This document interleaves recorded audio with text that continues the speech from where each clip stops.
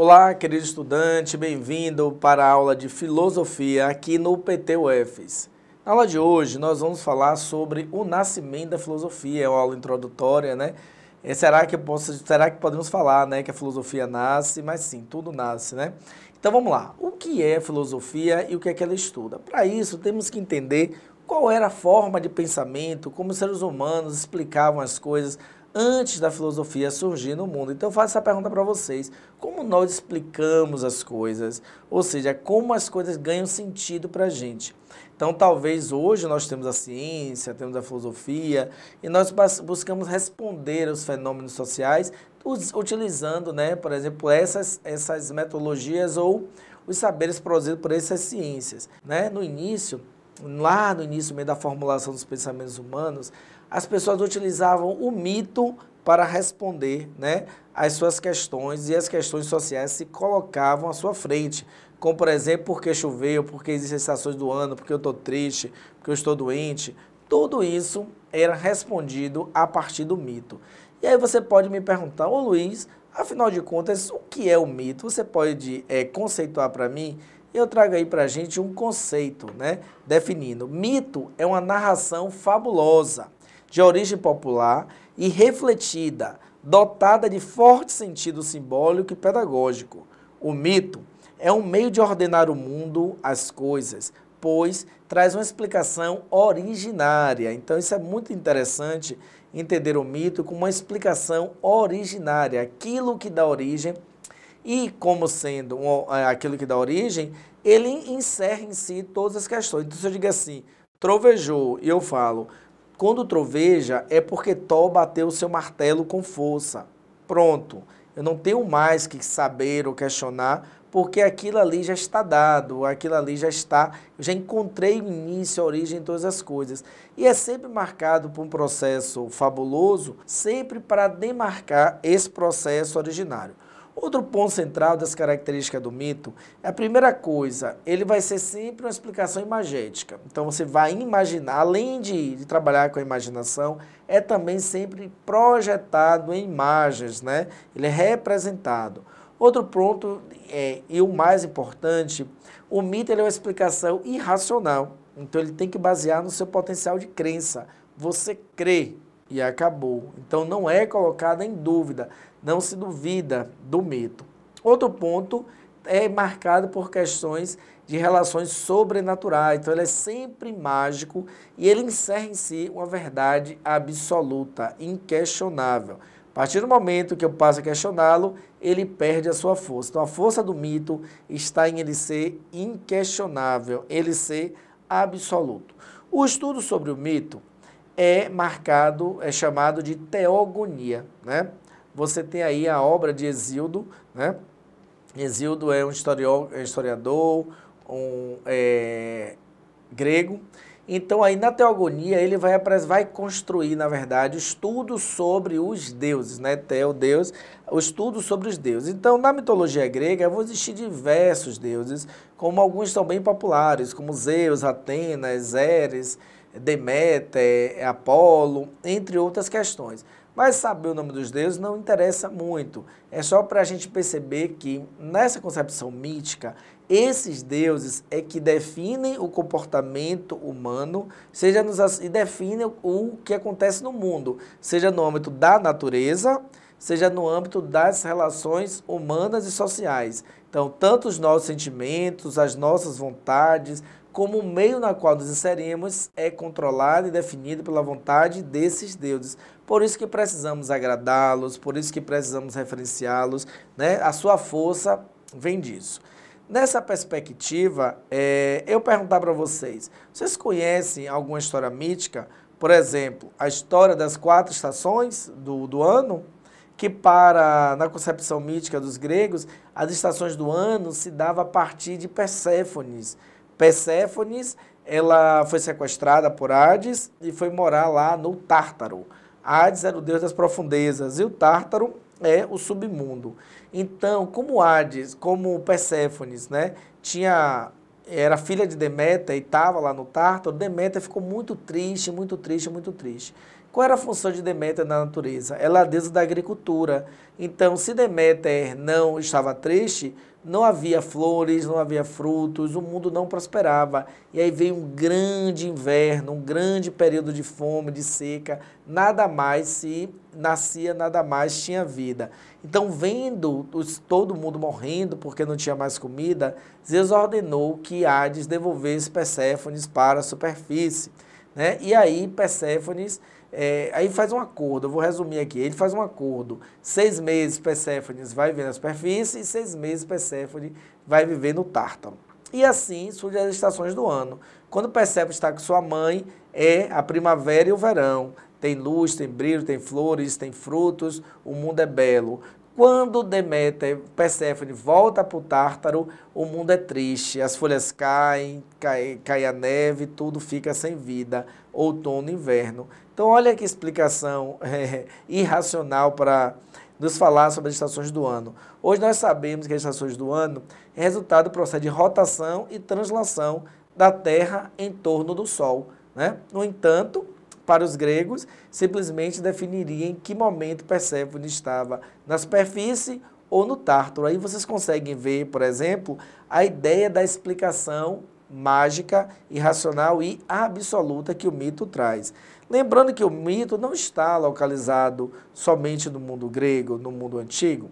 Né? Nós podemos construir mitos modernos, né? os super-heróis modernos são aquelas pessoas que vêm salvar o mundo, não é verdade? Super-homem ele produz esse mito salvacionista que pode ser traduzido para a gente até mesmo pela sociedade americana, né, se vender como aquele que salva a humanidade do caos e de outras questões. Veja diferentemente, por exemplo, do mundo antigo, onde você tem os heróis também é, se transformando em mito, nesse mundo antigo, nos gregos, os heróis, eles morriam, né? Eles representavam a sua força através, a sua força, a sua coragem, através de entregar a sua vida por uma causa maior. Nos nossos super-heróis atuais, não, eles têm superpoderes, eles nunca morrem, eles sempre vencem. Eles não mais são colocados em questão a sua coragem, mas eles são seres especiais, não pela sua condição humana de bravura, mas sim por um fenômeno externo, né? Um solta teia, um voa, o raio, entre outras, entre outras, entre outras questões. Então isso cria concepções míticas que vão acompanhando os seres humanos. Então, posso mostrar para vocês aí essa projeção dessa imagem do fogo. Vocês sabem que o fogo, ele simboliza o conhecimento, né? o, o controle dos homens sobre a natureza, dos seres humanos, sobre o meio, sobre a natureza. Então, na concepção, na história mítica, o fogo é dado aos homens por Prometeu. Quem é Prometeu, Luiz? Prometeu foi designado por Zeus para criar uma criatura nova, né? Zeus já estava cansado e pediu a Prometeu criar algo novo. E Prometeu, ele vem à Terra, encontra uma argila né, no, no rio, ele vai moldar através da argila seres que vão ser nós, os humanos, e ele vai soprar esses humanos, dando a ele fôlego, o sopro da vida. Esses seres humanos vão ser seres animados, então eles vão falar, vão andar e vão ser semelhantes aos deuses, né, no seu aspecto físico. Qual era a função desses deuses? A função desse, desses humanos seria simplesmente adorar aos deuses, servi-los e é, é muito parecido né, com a lógica da criação do mundo na tradição hebraica.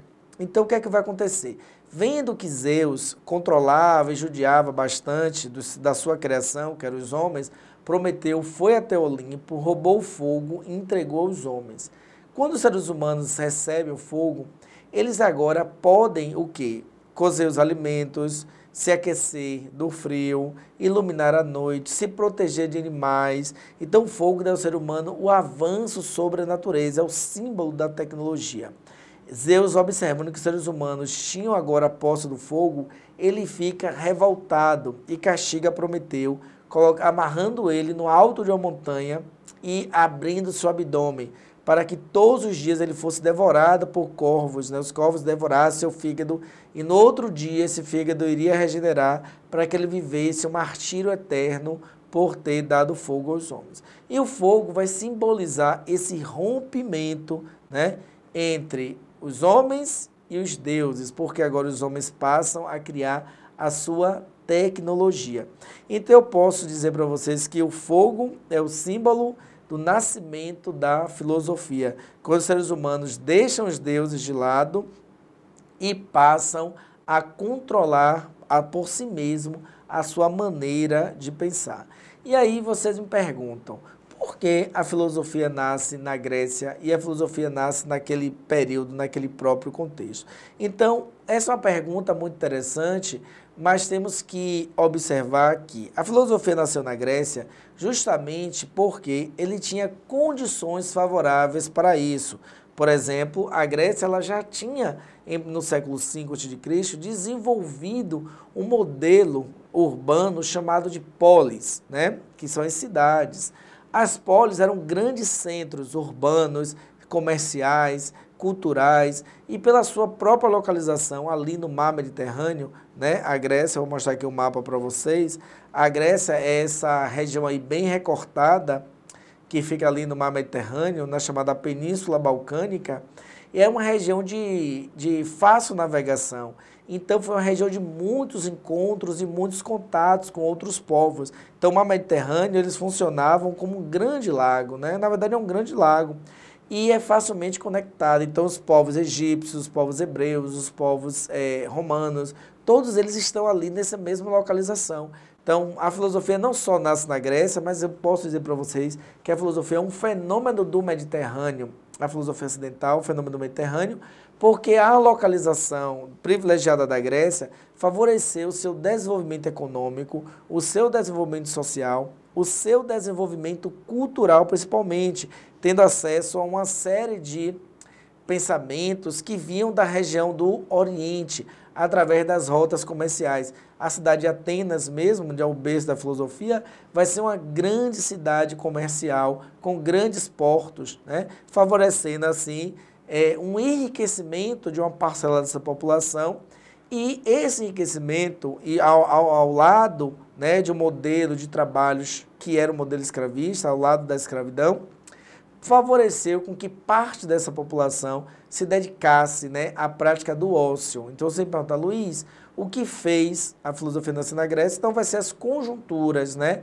é, de localização geográficas, as relações comerciais, as trocas econômicas, culturais, políticas, né, promovidas pelas navegações do Mediterrâneo e o enriquecimento dessa aristocracia que pôde dedicar-se ao ócio. Ócio significa o quê? Você destinar parte do seu tempo para pensar ou não utilizar o seu tempo para atividades laborais, como trabalhar, por exemplo, né? E por que os homens estavam liberados do trabalho? Porque a dinâmica de trabalho, as relações sociais de trabalho nesse período era o modelo escravocrata, o modelo escravista. Então, a utilização da escravidão ela possibilitou o desenvolvimento da filosofia através da exploração humana, né? Tanto que os gregos também desenvolveram um modelo de ensino muito particular chamado de paideia, né? O que é a paideia? A paideia também é resultado desse ócio, onde você tem um discípulo ensinando o seu, o mestre ensinando o seu discípulo, desculpe, né? Um erasta, um erômeno e um erasta. O erasta o mais velho, o erômeno mais novo, e essa relação do mais velho ensinar o mais novo também fez difundir né, esse modelo de ócio, esse modelo de pensamento que vai dar origem à filosofia. Não sei se já ouviram falar, por exemplo, que Platão foi discípulo de Aristóteles, Platão foi discípulo de Sócrates, Aristóteles foi discípulo de Platão e assim sucessivamente, demonstrando essa relação aí chamada de paideia, de conexão entre dois homens que era chamada de filia, certo? Era um pensamento grego. Outro ponto também é que os gregos eles vão reunir em si condições para o desenvolvimento de um pensamento racional, muito fruto do desenvolvimento urbano e do desenvolvimento econômico. Né? Então a sociedade estava se urbanizando, a sociedade que estava enriquecendo cada vez mais, ela vai generalizar o seu pensamento racional. Então a, a busca por uma racionalidade, ela vai ser fundamental para é, romper com o pensamento, o pensamento mítico. Então, a filosofia ela é filha da cidade. Né? Aí você pergunta, Luiz, então o que significa filosofia? Essa é uma questão que nunca vai cair na prova, é muito limitada, né? Mas filosofia significa amigo do saber, aquele que ama o saber. Esse é um vocábulo, é um termo que foi cunhado por Pitágoras de Samos e nós usamos até hoje. Né? O filósofo é aquele que se dedica ao pensamento, ao saber, o que ama a sabedoria. Lembrando que a filosofia no mundo antigo é diferente do que nós temos hoje. Eles dedicavam a tudo o que fosse saber. Então você vai ter da matemática, da arquitetura, é, da sociologia, tudo, todo, todo o processo de pensamento. Né? Eram, seriam o que para a gente hoje seriam intelectuais. Só que para a gente hoje, nós dividimos né, os saberes em disciplinas. Nesse período, lá no, no mundo grego antigo, ser filósofo era entender o saber e amá-lo. Né? Então ele vai buscar em compreender todas as áreas. Então, dentro desse processo, como eu já falei para vocês, vai surgir um grupo de pensadores chamado de pré-socráticos. Né? Então, essa vai ser a primeira forma de explicação racional. E ainda preso a alguns aspectos como a natureza. Né? Eu coloquei aqui essa imagem do Avatar, já viram esse desenho? Avatar você vê que o avatar ele controla os quatro elementos da natureza. E por que eu estou colocando isso? Para ilustrar o que seriam os pré-socráticos. Porque os pré-socráticos, eles são considerados filósofos da physis, né? O que seriam esses filósofos da physis? São filósofos que vão utilizar, ou analisar, ou compreender, ou responder né, de maneira racional as questões ligadas à natureza, à cosmologia, né? Não é ainda aspectos da existência humana, como nós vamos ver lá com aspectos políticos e éticos lá em, em Platão, em Aristóteles, em Sócrates. Não, eles ainda estão observando a natureza. Por isso que nós dizemos que os pré-socráticos, eles são filósofos cosmológicos, né? Eles vão trabalhar a partir da perspectiva da cosmologia, entender o mundo, a origem do mundo, a origem das coisas, né? Através aí do desse conceito que é a physis, que é a natureza, né, o físico, e o logos, o saber e o arquê, né? Arquê Aí lembre de arqueologia. O que é arqueologia? O que é que o arqueologista faz? O que é que a arqueologia faz? Nem encontrar os vestígios. Então, esses filósofos vão buscar a origem das coisas numa perspectiva racional, descavando, tirando as camadas, né, observando racionalmente os fenômenos. Dentre os filósofos pré-socráticos, nós vamos ter Pitágoras de Samos, Anaximandro, Tales de Mileto, são diversos pensadores que contribuem para a formação né, dessa, talvez, o maior saber produzido pela humanidade, que foi a filosofia, que é mãe e pai de todas as outras ciências, né? Mas vamos lá, vamos conhecer cada um deles. Primeiro, é, conceito aí para vocês mais uma vez o que vem a ser a Physis e a Arque, que diz assim: a Physis descreve tudo que brota, ó nossa de vida, que surge, que se põe manifestadamente como realidade é a questão da permanência do ser e da possibilidade de observá-lo. É, portanto, tudo que cerca o ser, tudo que cerca o ser humano. É a physis, tudo, a physis é, todo vir a ser, ou seja, não se define como uma realidade estática, sendo um termo que descreve a própria dinâmica. É o reconhecimento da estrutura ordenada do real, então, a física, como sendo a própria natureza, ela é, ela é dinâmica e transformadora. Então, quer ver um exemplo da física numa alegoria muito simples? Já fizeram na escola aquela experiência de colocar um milho ou um feijão para brotar no algodão? E foram observando que aquele feijão, que outrora era um milho ou um feijão, que era uma semente, ele vai brotar, ele vai, aí tem um termo chamado medra, né? Medra, medra, brota, medrança, né? Medrar, que é esse momento tá, de aparecer, né? Se desconstruir de uma forma e gerar outra. Então, uma semente agora é, uma, é, uma, é um pé de planta, é um filhote, e assim você vai vendo um ciclo de transformações. Então, a física é essa, essa força vital de se transformar. Lembre que na filosofia nada é simples, né? Então, que traduzindo de uma maneira menos complexa ou de uma maneira mais acessível, mas isso pode ser pensado numa perspectiva do próprio ser, né? Nosso processo constante de transformação. Observe que nós envelhecemos, nosso cabelo muda, ou eu aqui careca, né? O nosso cabelo muda, a nossa pele muda, é o processo natural da medrança, né, da fezes. Então, esses filósofos vão ter a física como o elemento central de observação. Agora, é diferente da mitologia, que respondia a tudo isso de maneira originária, originária no sentido de origem, encontrei a origem, acabou. Não, eles vão analisar racionalmente. Então vamos conhecê-los. Quem são esses filósofos pré-socráticos? Nós temos aí o primeiro deles que eu quero falar com vocês, que é Tales de Mileto. Para, e lembra que eu falei também dos elementos da natureza? Eles vão usar sempre elementos da natureza no seu processo de observação. Então, Tales de Mileto diz que tudo origina da água, que a, água é a fonte vital, né? Tudo nasce da água, tudo que tem vida tem água. Observe, ele não está tão ele não é tão louco, não é verdade? Aliás, não é louco nem, nem um pouco. É, por exemplo, a, o planeta Terra é composto por água.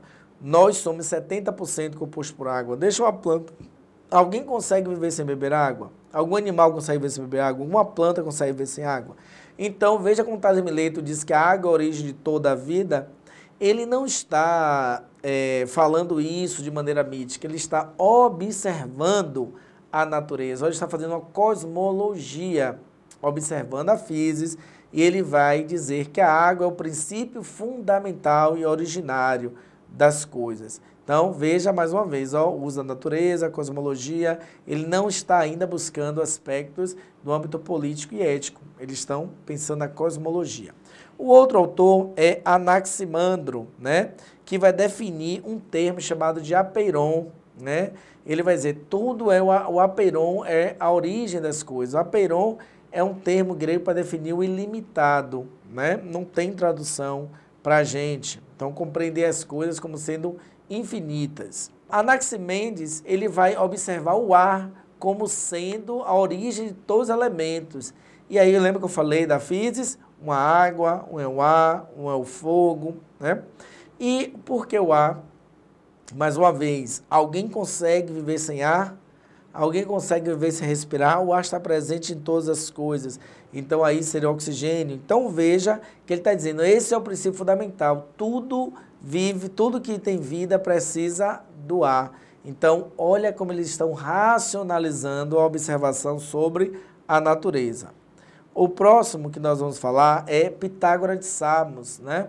Pitágoras vai dizer assim, tudo é número né? O princípio das coisas é ordem matemática, tudo é número.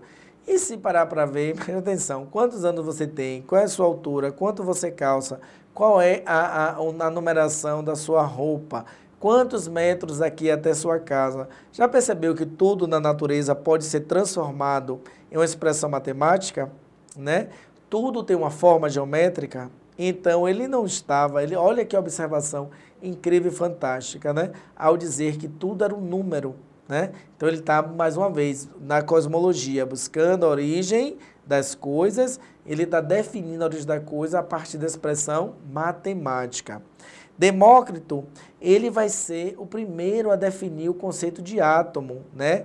Vai falar sobre o indivisível, observando que tudo na natureza é formado por um átomo, o que vem a ser chamado de átomo, né, que vai ser esse elemento indivisível. Observando o quê? Observando de longe a areia da praia, ele vê que de longe parece que a areia da praia é uniforme, é uma, um tapete único. Quando nós chegamos mais próximos da praia, mais próximo, mais próximo, nós vamos ver que ela é composta por microgrãos de areia. Aquilo que antes parecia uma única coisa, quando olhado de perto, nós vamos ver que ele é formado por pequenos grãos. Assim ele vai dizer, o mundo é feito desses pequenos grãos, que é o átomo, aquele elemento indivisível. Lembra que depois a química vai provar a existência do átomo, né? Não lembro mais os químicos, Rutherford Bohr e outros, me fugiu agora. Mas mais tarde isso vem a ser provado. Então veja a importância desses pensadores. É, Parmendes vai falar sobre o imobilismo, ou seja, as coisas são estáticas, né? são fixas. Né? E tanto que ele diz assim, o ser é, o não ser não é. Isso é algo muito... Parece, você deve ter ouvido isso bastante, né? Quando eu digo ser é, o não ser não é, você está falando da fixidez. Quando eu digo o ser é, pronto, está dado. Né? Nós pensarmos isso é, no exemplo mais, mais prático. Se bem que hoje isso pode até ser questionado, né? Por exemplo, essa aula aqui vocês podem estar assistindo de qualquer lugar, então ela tem uma mobilidade, né? Ela tem um, um movimento que eu não preciso mais dizer que vocês estão aqui porque não estão lá. Vocês estão, podem estar em qualquer lugar. Mas para vocês estarem aí, nesse exato momento, nesse lugar assistindo esse vídeo, vocês se negam a estar em outro local. Por exemplo, você está no quarto, você não está na sala, você não está, por exemplo, na cozinha, você não está é, no seu trabalho. Isso demonstra que, de fato, há um imobilismo nas nossas experiências ou uma limitação. Então, veja que Parmênides, ao falar do imobilismo, ele está observando a nossa limitação. Claro que falando da ideia do ser, é um processo muito mais amplo.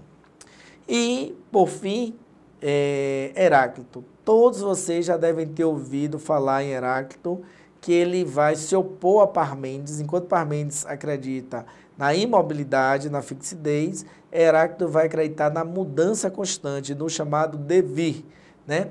E o vir a ser. Já ouviram aquela frase famosa? Ninguém entra no mesmo rio duas vezes. Né? Essa frase de Heráclito é para definir o seguinte: por que ninguém entra no mesmo rio duas vezes? Primeiro, porque a água já passou, então, aquela água que você pisou, ela já correu, ela não está mais lá. Já é um outro rio. E você também já envelheceu, já mudou, já é uma outra pessoa. Então, ele está falando o tempo inteiro, estamos passando.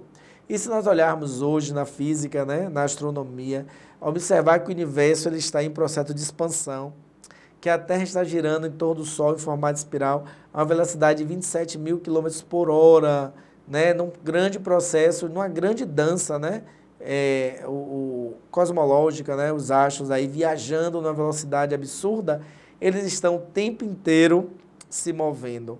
Né? Então, é, Heráclito, ao, ao, afirmar sobre essa mobilidade, ele pode nos trazer também para questões é, do âmbito existencial humano, quando nós nos nós mudamos cotidianamente, não só fisicamente, como mudamos a nossa forma de pensar, como mudamos nosso comportamento, como mudamos os nossos gostos, a depender. Lembra quando vocês eram crianças, gostavam de uma coisa, hoje gostam de outra, e assim sucessivamente. Então podem observar que esses filósofos chamados de pré-socráticos, não necessariamente, gente, eles vieram antes de Sócrates, certo? Isso é importante destacar. Esse conceito pré-socrático, porque o seu, a sua forma de pensamento, a sua forma de construção né, racional de explicar as coisas se agrupam dentro daquelas características, cosmologia, fezes, arque, certo? Ou seja, eles vão se ocupar eh, na observação dos elementos da natureza, na observação do mundo ao seu redor, buscando a origem das coisas, né? Isso é o que caracteriza a filosofia pré-socrática. Então, para dar prosseguimento, na próxima aula nós vamos estudar aí os filósofos Sócrates, Platão, né? compreendendo aí a chamado a nova fase da filosofia, né? Que os seres humanos passam a questionar a si mesmo e a todas as coisas. Né? Então aguardo vocês. Mas antes, eu quero pedir para vocês é, responder as questões, né? Que vão estar aí em anexo, postadas aqui no chat. Façam questões, perguntas no chat que eu vou responder também, certo? Nos encontramos na próxima aula. Forte abraço!